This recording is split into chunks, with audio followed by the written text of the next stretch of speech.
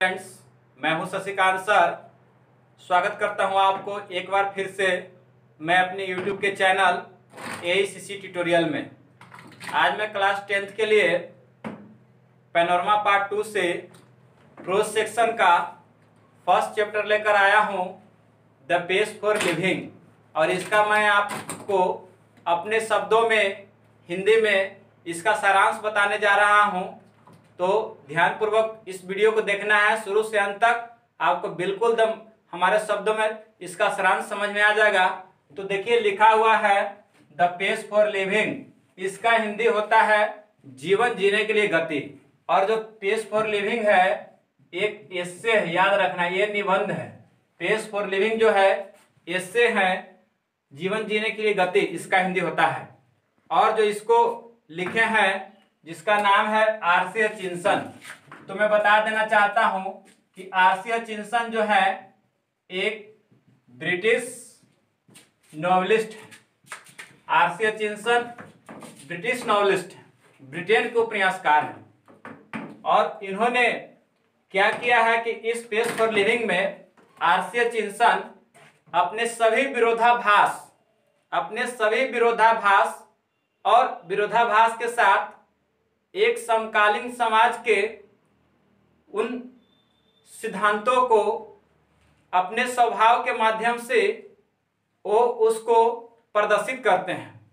जो समकालीन समाज के जितने भी मुद्दे हैं, उनके सबको वो क्या करते हैं? एक छूने के लिए, उन समकालीन समाज के मुद्दों को छूने के लिए, सिद्धांतों को छूने के लिए एक असाधारण स्वभाव को प्रदर्शित करते हैं। तो देखिए, इसमें जैसे आपको आ जाता है मुद्दे के बारे में तो इशूज कहते हैं। मुद्दों को हम इशूज कहते हैं और समकालीन को हम कहते हैं कॉन्टेम्पोररी याद रखना, ऐसा वर्ड दिया हुआ है। समकालीन को कॉन्टेम्पोररी कहते हैं और जैसे विरोधाभास को हम कहते हैं पैराडॉक्सेज और कॉन्ट्राडिक्शन पैराडॉक्सेज एंड कॉन्ट्राडिक्शन ये सब विरोधाभास को कहते हैं ये इंग्लिश में कहते हैं। इन सब चीज़ों को एक छूने का एक असाधारण प्रयास करते हैं।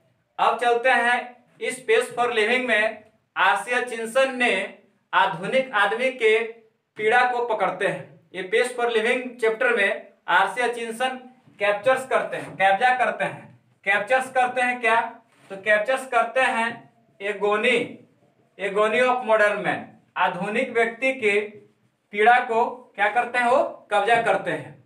और बताते हैं कि पुरुषों चीज़ों और वस्तुओं की तीव्र गति, पुरुषों चीज़ों और वस्तुओं की जो तीव्र गति है, एक सामान्य मनुष्य को कैसे प्रभावित करती है? मतलब कि पुरुष को चीज़ों और वस्तुओं की जो तीव्र गति है, जो चेंज होती है हाउ फास्ट जिसको कहते हैं इंग्लिश में मूवमेंट वो कैसे सामान्य मनुष्य को प्रभावित करती है? और इसके साथ साथ ये भी बताते हैं कि ये पुरुषों पर, औरतों पर और बच्चों पर असामयिक दबाव भी डालता है। और पुरुषों पर बच्चों पर क्या करता है समय? दबाव भी डालता है। मतलब इसको कहते हैं अनड्यू प्रेशर अनड्यू प्रेशर याद रखना है। जो अनड्यू प्रेशर मतलब सामयिक दबाव डालता है। जो मतलब कि आधुनिक युग में जितना क्षमता नहीं, उस क्षमता से अधिक उसको कष्ट, पीड़ा दे देता है। अब जो लेखक हैं, अपना निबंध का शुरुआत, जो ऐसे का शुरुआत जो है, इस प्रकार करते हैं। लेखक जो ऐसे का शुरुआत इस प्रकार करते हैं कहते हैं कि लेखक जो है, एक बार जो है, कुछ दिन पहले, लेखक जो कुछ दिन पहले एक नाटक देखे थे। उन्होंने क्या देखा था? एक नाटक प्ले। जो प्ले देखा था नाटक, वो कहा था डबलिन में। लेखक ने एक डबलिन में नाटक देखा था। उसमें जो मुख्य पात्र था नाटक का, जिसको इंग्लिश में हम कहते हैं कैरेक्टर चीफ कैरेक्टर जिसमें मुख्य पात्र था, वो क्या था? एन एल्डरली एक उम्र दराज जिसको कहते हैं एल्डरली कॉर्न मर्चेंट उसमें नाटक का मुख्य पात्र था एक अद्वैस मक्का व्यापारी, जो आयरलैंड के छोटे से शहर में रहता था। स्मॉल आयरिश कंट्री टाउन याद रखिएगा स्मॉल आयरिश कंट्री टाउन जो आयरलैंड के छोटे से एक शहर में रहता था। उस व्यक्ति का जो हृदय था वो बहुत ही कमज़ोर था। जिसको वर्ड मीनिंग होता है, कमज़ोर को हम कहते हैं डिक्की। कमज़ोर को हम कहते हैं डिक्की। उसका हृदय कमज़ोर था और उसका भतीजा, जिसको हम इंग्लिश में कहते हैं नेफ्यू उसका भतीजा उसे धोखा दे रहा था। और उसके पत्नी जो थी, वो पत्नी प्रत्येक छुट्टियों पर दस पाउंड प्रत्येक छुट्टियों पर दस पाउंड क्या करती थी? पैसा खर्च करती थी। मतलब कि ये लीरा याद रखिएगा, आयरलैंड का जो होता है, वो विदेशी मुद्रा है जो आयरलैंड का, उसको लीरा कहते हैं, याद रखना है, लीरा। वो तो प्रत्येक छुट्टियों पर उसके पत्नी को दस लीरा खर्च करने का एक बहुत ही अद्भुत राय था, शौक था। उस व्यक्ति के बहुत सारी चिंताएँ था, और उस चिंताओं में वो अंदर ही अंदर वो दुख से करा रहा था, पीड़ित था। और उसके साथ एक और जो दुख वाली बात यह होता है कि उस व्यक्ति से किसी ने कह दिया था कि एक हवाई जहाज़ है जो एक हज़ार प्रति मील की रफ्तार से उड़ता है। एक हज़ार प्रति मील घंटा की रफ्तार से उड़ता है। एक एरोप्लेन के बारे में किसी ने कह दिया था। उस पर उस व्यक्ति कहता है है ना यह बहुत तेज? इस पर वो व्यक्ति कह देता है क्या है ना यह बहुत तेज? तो, तो ये बहुत तेज है। जब इस तरह के बात को लेखक सुनते हैं जब इस तरह के बात को लेखक जब सुनते हैं तो लेखक के लिए ये जो पंक्ति था कि एक हवाई जहाज़ है, जो एक हज़ार प्रति मील की रफ्तार से उड़ता है यह पंक्ति लेखक के लिए बहुत ही नाटक का रोचक पंक्ति बन जाता है। लेखक के लिए ये नाटक का रोचक पंक्ति बन जाता है, इसलिए कि लेखक कहते हैं कि आज भी आयरलैंड में रहने वाले ये कैसे लोग हैं, जो एक सच्चाई को एक अलग अलग तरह से पेश कर रहे हैं। क्या आयरलैंड के रहने वाले लोगों को क्या एक छोटा सा ही सच्चाई पता नहीं है? कि क्या हवाई जहाज़ भी एक हज़ार प्रति मील घंटे की रफ्तार से उड़ सकता है? क्या वो लोग अभी तक इससे वाकिफ नहीं है? और तो और कहते हैं कि देखा आपने, उस बुढ़े को सच्चाई कहते हुए कि इस तरह से उसको भी विश्वास नहीं हो रहा है। तो इस तरह से लेखक जो है, आयरलैंड के रहने वाले लोगों के मानसिकता, उसकी सोच को बताते हैं कि किस तरह के सोच में रहने वाले हैं। आगे लेखक कहते हैं कि लेखक जो है, वो बोलते हैं कि ऐसा नहीं कि रैपिड मूवमेंट हो रहा है। रैपिड मतलब होता है तेज गति में हरकतें। लेखक कहते हैं कि ऐसा नहीं कि जो तेज गति में हो रही हरकतें मुझे पसंद नहीं है। लेखक को पसंद है तेज गति में होने वाला हरकतें। लेकिन कहते हैं कि मुझे तब तक पसंद आता है जब तक उसका आनंद लेता हूँ। जैसे लेखक को 90 किलोमीटर प्रति घंटा की रफ्तार से 90 माइल्स लेखक को 90 माइल्स याद रखना है 90 माइल्स लेखक को 90 माइल्स 90 मील प्रति घंटा की रफ्तार से। कार चलाना बहुत ही आनंद आता है। कार चलाने में बहुत ही आनंद आता है जब तक कि लेखक उस कार को वो चलाते हैं। लेकिन एक शर्त रख देते हैं कि आनंद तब तक ही आता है जब वो दूसरे के कार को चलाते हैं। अपने कार को चलाते नहीं है। और लेखक कहते हैं, इसके अलावा कि जो मुझे रात्रि का भोजन करता हूँ लंदन में। और लेखक कहते हैं कि रात्रि का भोजन लंदन में करना मुझे बहुत अच्छा लगता है। और जो दोपहर का भोजन होता है, वो न्यूयॉर्क मतलब अमेरिका में करना, वो भी बहुत अच्छा लगता है। एक संतुष्टि भरा अनुभव होता है। अर्थात लेखक का कहने का मतलब यह हुआ कि लेखक को एरोप्लेन से सफ़र करना, हवाई जहाज़ से सफ़र करना बहुत ही अच्छा लगता है। लेकिन उतना संतुष्टि भरा नहीं हो पाता है। क्योंकि वो कहते हैं कि मैं उस सतही सुखों से वंचित हो जाता हूँ। लेखक कहते हैं कि सतही सुखों से वंचित हो जाता हूँ। जो समर सेट में, देहात में समर सेट याद रखिएगा। जो समर सेट समर सेट एक जो, है ना, जगह का नाम है। जो समर सेट में, देहात में चलने वाला जो बस होता है, उस बस में बैठकर यात्रा करने का, सवारी करने का जो सुख अनुभव मिलता है, वैसे सुखों से वो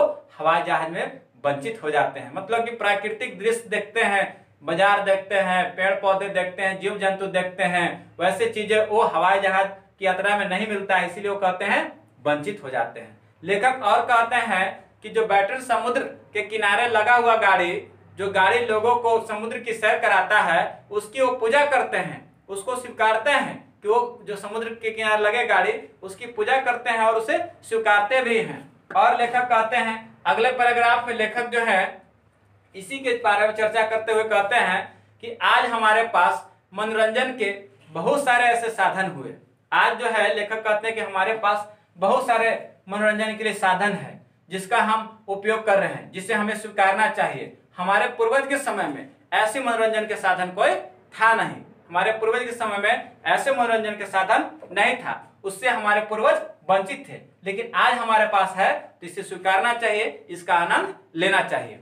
अगले पैराग्राफ में जो लेखक जो हैं, वो कहते हैं, अपने आप को एक अलग जाति से वर्गीकृत करते हैं। अगले पैराग्राफ में लेखक जो कहते हैं कि वो स्लो थिंकर से बिलोंग करते हैं। लेखक खुद को स्लो थिंकर्स याद रखना है आपको कि लेखक जो है, खुद को स्लो थिंकर्स मतलब मंद विचारक के जाति से संबंध रखते हैं। क्योंकि लेखक कहते हैं कि मैं उस जाति से संबंध रखता हूँ जो मंद बुद्धि वाला है, जिसके सोचने का जो गति है, वो बहुत कम है।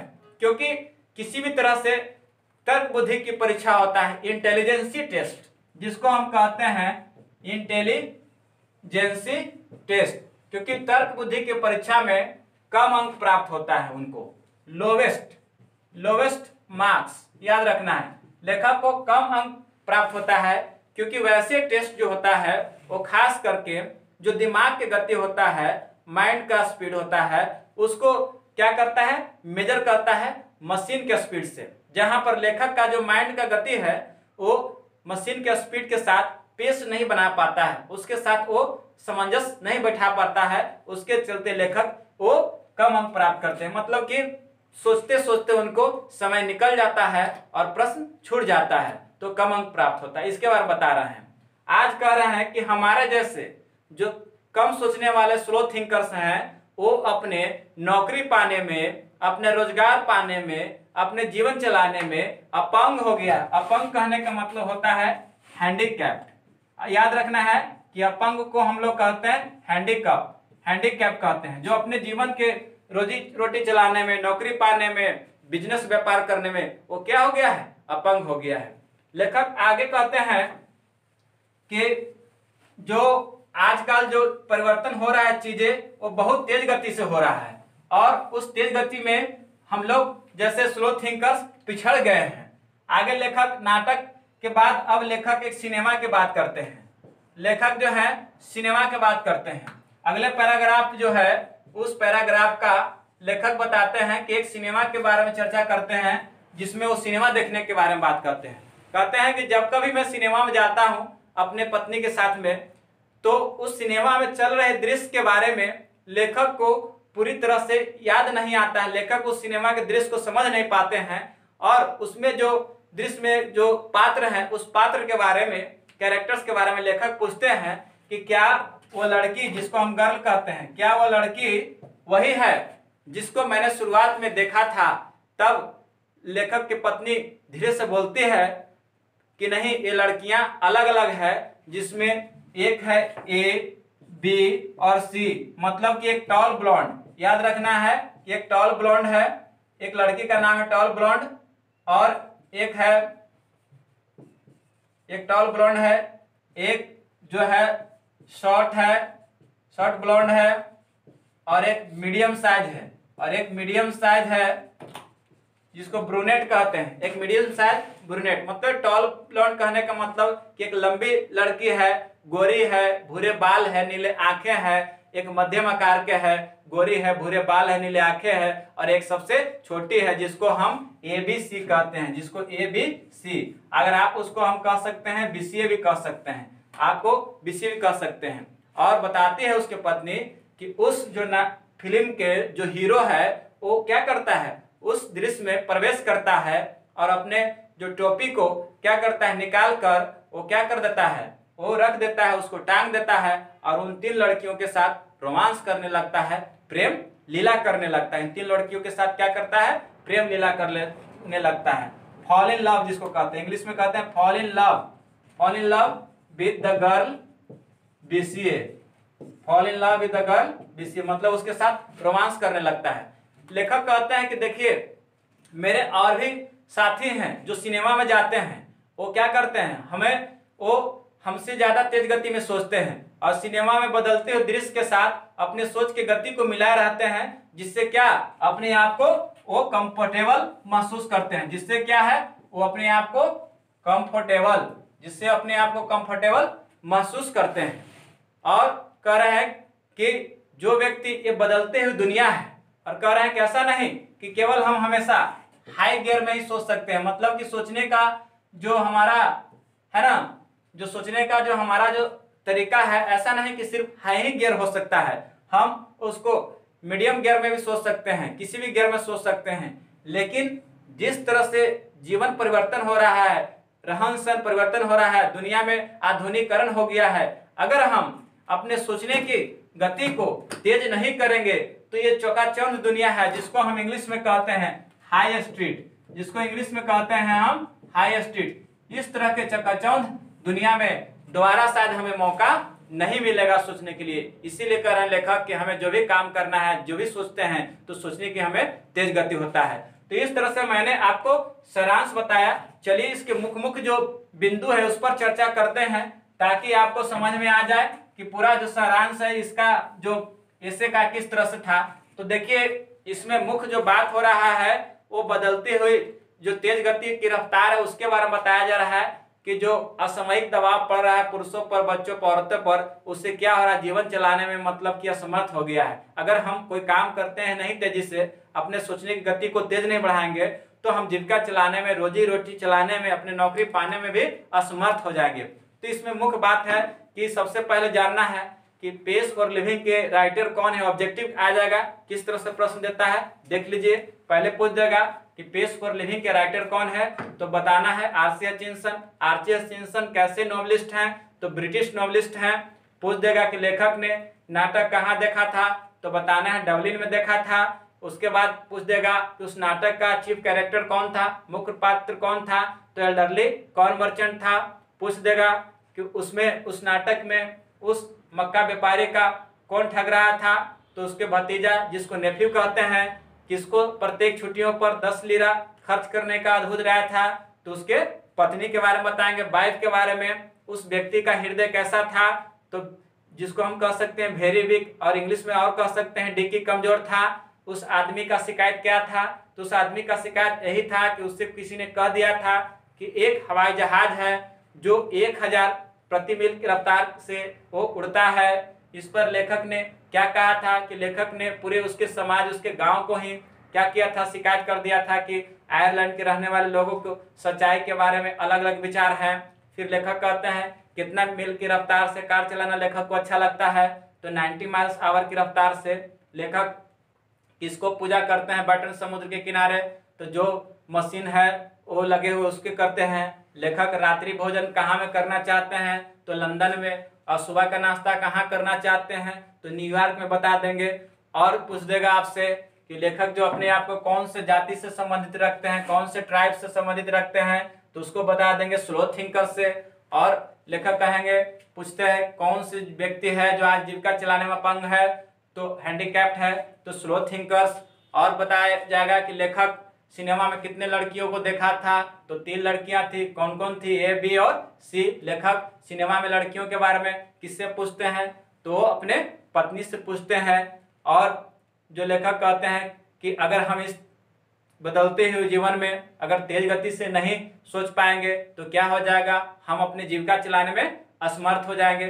कौन व्यक्ति हैं जो सिनेमा में तेज गति से सोचते हैं और अपने आप को कंफर्टेबल महसूस करते हैं? तो लेखक के कुछ साथी हैं जो अपने आप को कंफर्टेबल महसूस करते हैं। लेखक को तर्क बुद्धि की परीक्षा में सबसे कम अंक क्यों प्राप्त होता है? तो ये बताएँगे कि उनका जो सोचने की गति है, वो मशीन की गति के साथ अपना गति बनाए नहीं रख पाता है, इसीलिए उनको कम अंक तो इस तरह से बहुत सारे ऑब्जेक्टिव्स क्वेश्चन पूछता है। मैंने आपको पूरा हिंदी में इसका सारांश बता दिया हूँ। और अगले बार जब आऊँगा तो अगले चैप्टर का वीडियो लेकर आऊँगा और इसके ऑब्जेक्टिव्स भी बताएँगे। इसका ऑब्जेक्टिव भी लेकर आएँगे। कैसे इंग्लिश में पूछता है ऑब्जेक्टिव उसको भी वीडियो बनाएँगे, उसको भी पढ़ाएँगे, आपको बताएँगे कि किस तरह से ऑब्जेक्टिव बताया जाता है। तो आशा करता हूँ कि जो हमारे द्वारा बताया गया इस चैप्टर का जो सारांश था, आपको समझ में आया होगा। तो लास्ट में आपसे यही कहना चाहूँगा कि अभी तक चैनल को सब्सक्राइब नहीं किए होंगे तो उसको सब्सक्राइब कर ले बेल आइकन को दबा दे और लाइक शेयर कमेंट करना न भूले, हमारा जो व्हाट्सअप नंबर है, उसको मैं बता दे रहा हूँ। इस पर भी आप अपना जो क्वेश्चन है, भेज सकते हैं। संतानवे ज़ीरो बिरासी, ज़ीरो बावन बिरासी पर आप व्हाट्सअप करके अपना जो भी कन्फ्यूज़न है, वो भेज सकते हैं, दूर कर सकते हैं। और इतना ही कहना चाहूँगा।